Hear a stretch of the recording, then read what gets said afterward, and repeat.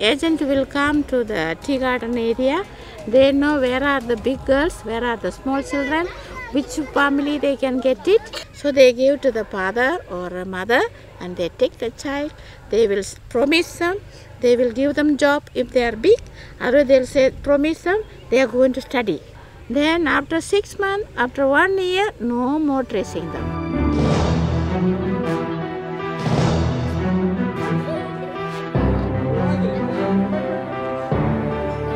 Very well going on.